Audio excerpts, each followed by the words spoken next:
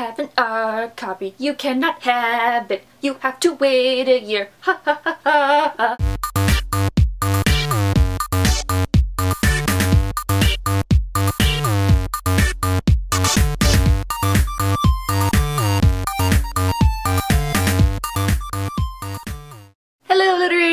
happy Saturday. I've had this question from friends and people that I work with and a couple people on the internet, so I want to address this topic today, and that is advanced reading copies, ARCs or ARCs. An advanced reading copy is a printed version of a book that has not been released yet. It is sent out to a group of readers that determine how to market it and how to edit it before it officially makes its debut. I've had a lot of people ask me, how do I get these advanced copies? Because you know you want them. And I'm here today to tell you how to do that. So the way that I started with my advanced program is that I actually work at a bookstore, so I got my head start through that, where the publishers that work with a lot of the books that get sent to my store asked if anyone would be interested in a teen reading program for them to send advance copies and then in turn once I receive them I need to give feedback to the people that run this program. For example the one that I'm reading right now is Windwitch which is the second book in Susan Dennard's Truthwitch series.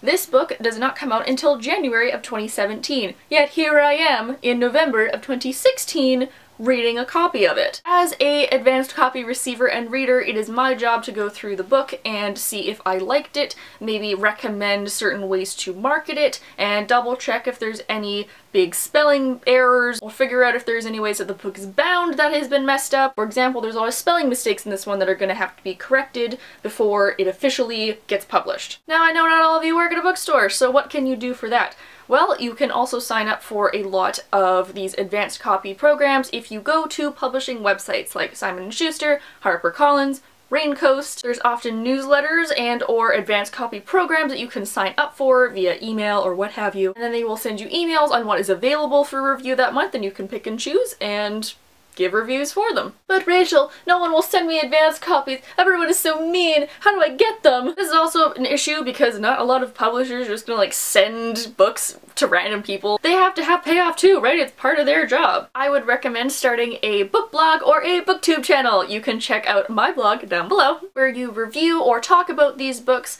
and get the word out there because when you spread the word, you are making more people want it, you're having more people buy it, and the publisher will continue to send you copies because they know that you will review them. You know when your hair is straight and then it just suddenly decides to like curl in for no apparent reason? It's raining like I sneezed the wrong way today. See, the only problem with advanced copies is that you buy all these other books that you want to read right now and then the company is like, hey, here's a 12 advanced copies and you're like, oh my god, this is so amazing. Except they all come out like next month and then like what do you do? Do you read like half of them? Do you try and read all of them? Do you just like say screw it and like not read any of them? But then like they'll stop sending you stuff like you want to keep getting stuff. it's a slippery slope, my friends. Just You've been warned. Tune in on Sunday for our live chat at 7.30 Eastern Standard Time. I keep forgetting to mention that uh, because in my time zone it's at 4.30, which is Pacific Standard Time, so whichever one, whichever time zone you're in, just come check it out. I'm almost done. I have like 70 pages left of this and I want to get my review into the publisher tonight. So if you'll excuse me, that's what I'm gonna do for the next little while.